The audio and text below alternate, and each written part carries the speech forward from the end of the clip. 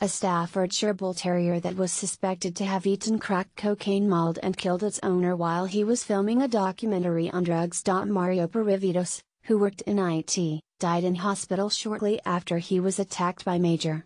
Perivoitos received serious injuries to his face and neck, extensive hemorrhaging and his larynx was crushed. An inquest heard. The BBC film crew at his home in North London called an ambulance and tried to fight off the dog, which had attached itself to the 41 year old's neck.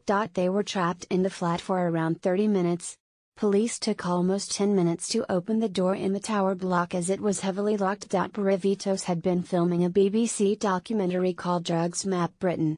On the night he died, he came home after 10 pm having consumed cocaine and became unwell, resulting in an epileptic fit. The dog then attacked his owner as he lay on his bed.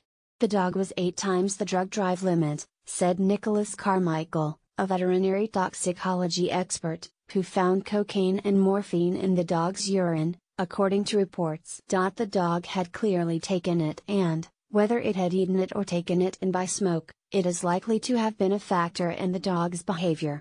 Coroner Andrew Walker concluded that the dog had probably eaten the drug and been provoked by his owner having an epileptic fit. He also said that Perivoitos had died due to his injuries from the attack. Major was due to be destroyed, according to police.